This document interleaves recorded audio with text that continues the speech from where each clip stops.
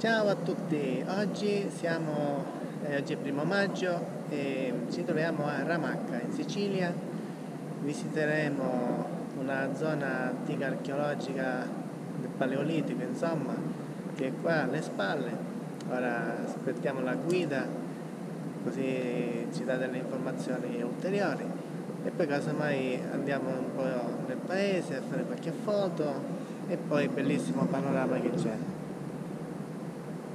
il silenzio è assurdo, favoloso. Guardate che panorami. Bellissima giornata.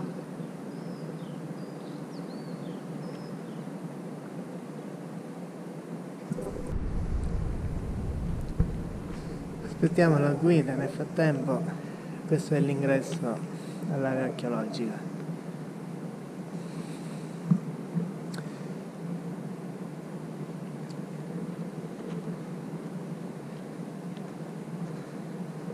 si chiama Parco Archeologico della Montagna di Ramacca.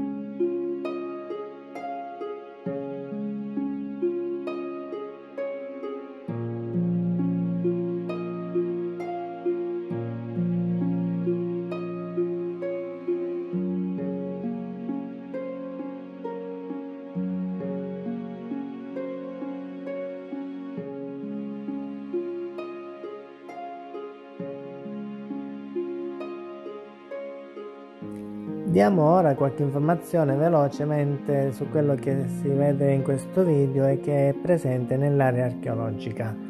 Si tratta di una zona multistrato storico, quindi in teoria potendo scavare sempre più eh, in profondità si dovrebbero trovare delle, dei reperti sempre più antichi.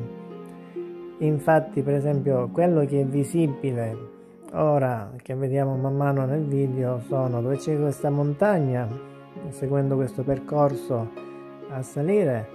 Sono presenti delle, delle celle funerarie del periodo pre-greco.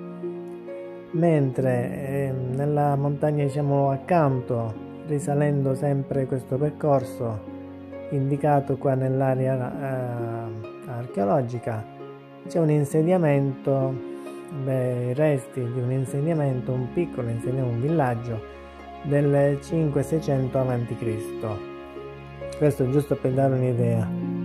Tra l'altro vedremo più avanti che in giro per tutta questa zona ci sono per terra, ecco, scavando, è facile incontrare addirittura eh, pezzi di cocci di vasellame, ecco.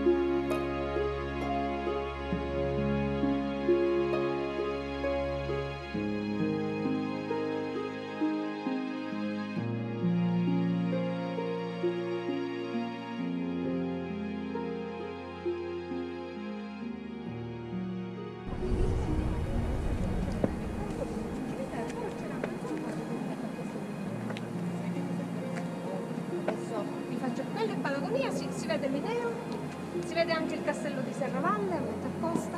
Questa è la valle del fiume del Girone che poi qui prende il nome del fiume dei Maggi. E, ehm, e c'è anche un fiume un po' più vicino, un torrente che si chiama Margherito, che ricade nel nostro territorio, il fiume dei Maggi è sul territorio diciamo, di Mineo.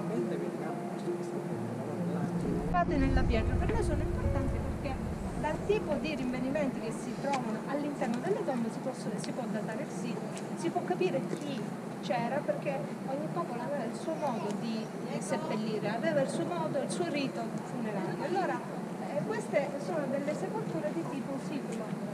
precedente all'arrivo dei greci. I greci avevano altre modalità, utilizzavano per esempio la tecnica della cappuccina, cioè delle tegole eh, riutilizzate messe a spiovente, e queste erano tombe simbolo.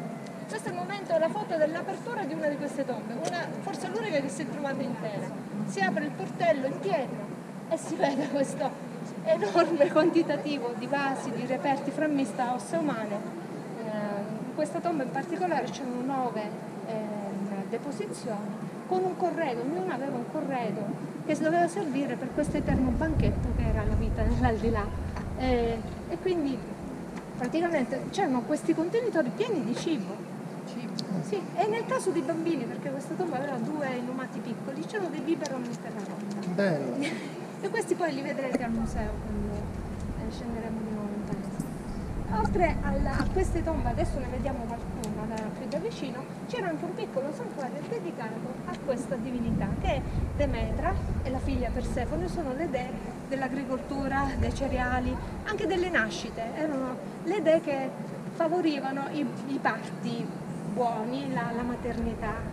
E dovete immaginare ogni mese di maggio, più o meno questo era il periodo delle tesmofori, le donne eh, sposate si vestivano con abiti bianchi, scendevano dall'abitato e venivano a fare delle offerte in questo santuario. Delle offerte che erano delle semplici statuine di terracotta, come le vedete qui affiorare al momento del rivenimento, accompagnate con delle piccole brocche con il vino e forse anche delle forme di pane che se fate attenzione anche nelle feste attuali il pane per esempio è una cosa che è sempre presente come offerta, cioè questo legame con il grano, il pane, le dee eh, della terra, la figura femminile, perché la figura femminile genera vita così la come terra. la terra genera vita. La Quindi, madre terra. poi quando gli uomini hanno capito che ci volevano anche loro per creare la vita, le idee dell'antichità sono anche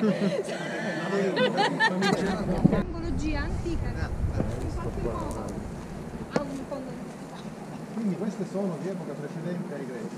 Sì, queste sono tipo, la cosa carina di, di queste tombe, a parte il fatto che sono dei veri e propri monumenti, eh, perché scavare una cosa del genere, vedete c'è anche un corridoio d'ingresso scavato nella roccia, ed è uno grandissimo e si metteva centralmente la sepoltura sì, sì, certo, non era una situazione felice, però il culto c'era, infatti tenevano No, però chi doveva E questo fa capire che comunque la zona fu abitata da diverso tempo, in diverse epoche. Abbiamo visto dalle riprese aeree che è una zona molto verde, vicino qua passa un fiume, quindi le popolazioni già magari prima dei periodi classici già si stanziavano qui, soprattutto nel momento in cui si passava dalla, eh, dalla pastorizia alla- all'agricoltura e quindi si creavano degli insediamenti eh, stanziali. E per avere comunque un'idea più chiara di quello che si è trovato, che fa riferimento appunto alle diverse epoche, che andiamo quindi da quelli veramente magari fino a mille anni prima di Cristo fino al periodo greco, romano e bizantino, e sono raccolti i reperti che si sono trovati in quest'area nel museo archeologico di Ramacca che poi più avanti nel video si vede un qualcosa ecco. La cosa bella è che la guida qua sta trovando pezzettini tipo di vasellame eh, romano greco una cosa pazzesca e ce l'ha fatti vedere si trovano qua in giro Questa è una quarzita ed è una pietra che magari poteva essere utilizzata perché ci sono pietre adatte a fare questo tipo di, eh, di- di- di manufatto. Non tutta la pietra può essere sbozzata, scheggiata. E loro la conoscevano. La secce, la quarzita dà questa possibilità, altre pietre no. Tegole. E qua ne ho trovata una. Questi sono tutti pezzettini di vasellame romano. Questo occhio dell'archeologo, guarda, guarda. Dove sono i bambini? Glielo facciamo scavare a loro. Vieni qua Michela, vieni. Dove sono i bimbi? Guarda. Guarda, guarda, mi aiuti a tirare fuori questo? è una cosa. Sì. Col ditino mi aiuti a scavarlo? Non fa schifo. che c'è Ale? E niente. Siamo attrezzati. Aspetta, togliamo. Questa. Ah, Dobbiamo stare vediamo. insieme. Ah, ma è già venuto fuori. Ah, ah, ah, ah. Cos'è? Secondo, secondo te? È un legnetto! No, no, è fatto, è fatto di terracotta. Questo è il manico di un vaso, un vaso molto antico. Non credo. È buono, questo non è un osso, eh, con questo non si può fare il brodo. Lo lasciamo, lo rimettiamo. Praticamente erano due edifici paralleli, uno molto più grande e uno grande circa la, la metà. Vedete i basamenti di questi questo è un po' particolare perché po' più lungo del, del normale, si pensa, siccome c'è un forno nella sua parte centrale, anche se appunto non si vede, però aveva questo forno, si pensa che poteva essere un luogo dove si consumavano pasti comuni. Una cosa che racconta Erodoto, quando i greci arrivano in Sicilia trovavano le popolazioni locali che spesso si riunivano una specie di consiglio, facevano questa cosa che gli spartani chiamavano sissizia, era una specie di consiglio diciamo dei maggiorenti della città e poi si consumavano dei pasti comuni. Quindi chissà se questo era l'edificio vocato per questa. C'è una veloce spiega- spiegazione dell'abitato, quindi datano VI, sì, VI, VII secolo a.C. Qua è praticamente quello che vediamo qua, con le pietre.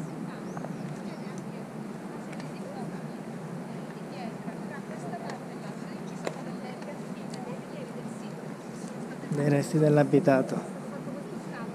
Questo qua, questo qua, quest'area. eh, hanno già conosciuto, l'abbiamo trovata qui. In questo punto. Qua? Sì. Come vedete il muro della, della casa, lo spigolo, non c'è più.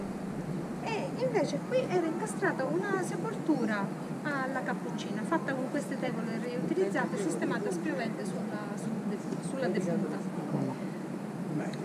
le tombe diciamo, di fuori da contesto del necropoli. Ottima domanda. Dici come mai una tomba in un momento in cui qui abbiamo casa? Una citazione la posso fare? Vai, Tu sarai pietra d'angolo come, come Pietro. come Pietro. A proposito di pietre d'angolo, le vedete? E appunto.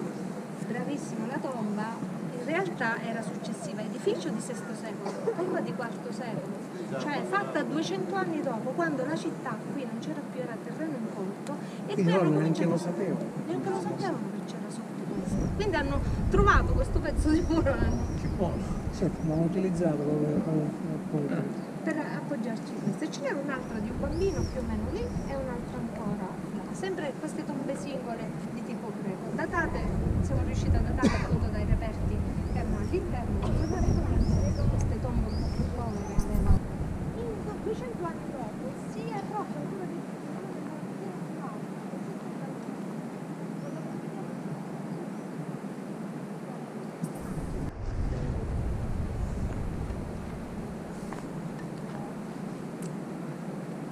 Invece appunto era quest'area abitata del VI-V secolo a.C., poi è stato abbandonato e ci hanno messo delle tombe pure qua. Queste sono belle farfalle che volano. E ne hanno trovate anche di bambini, delle, di, di tombe. Quindi nel periodo successivo, insomma.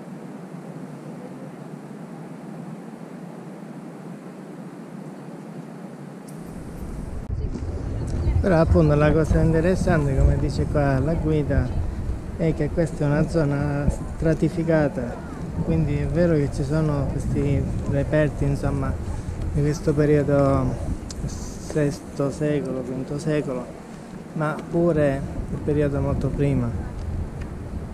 Quindi bisogna soltanto scavare come hanno iniziato a fare, poi i lavori si sono fermati per diversi motivi economici eccetera però si trova un po' di tutto qua.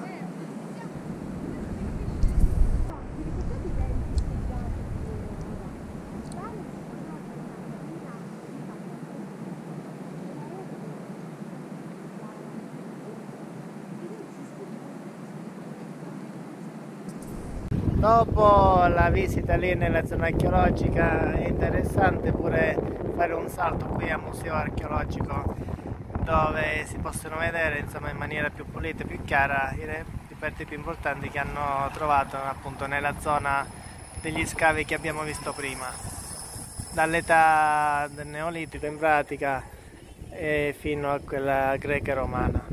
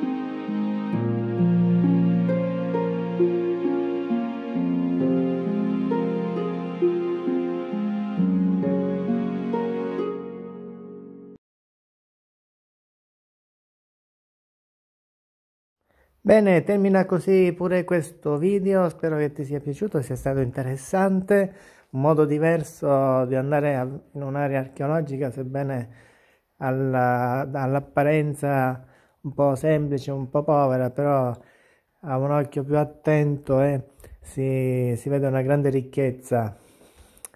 Bene, eh, voglio ricordare soltanto che eh, l'ingresso è pagamento una piccola insomma, somma, circa 2,50 euro a persona. E, ehm, quindi basta contattare appunto le, la Ramacca, ehm, il museo stesso, ehm, la responsabile appunto Laura Sapuppo. Poi comunque, visto che comunque la giornata poi passa, si può andare a mangiare lì a Ramacca stesso, comunque ci sono belle possibilità per la ristorazione. E niente metti un commento metti un mi piace se ti va. Ovviamente ricorda che se non l'hai fatto iscriviti al canale che ogni settimana c'è sempre un nuovo video uno o più video dei posti più belli e interessanti dell'Italia e del mondo. Allora alla prossima